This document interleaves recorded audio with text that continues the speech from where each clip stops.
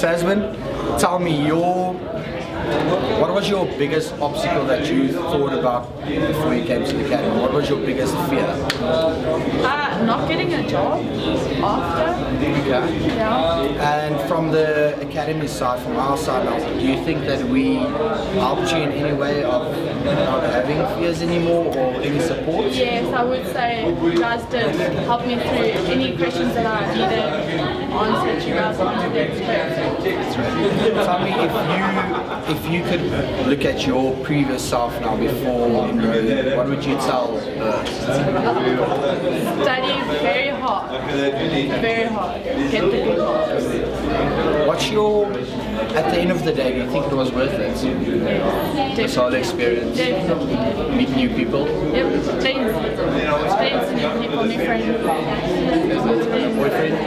Yeah. Not yet. No, same boyfriend. So- Not, not new boyfriend. Boyfriend. Perfect. Thank you so much. Thank you very much. Enjoy your night. Thank you very much.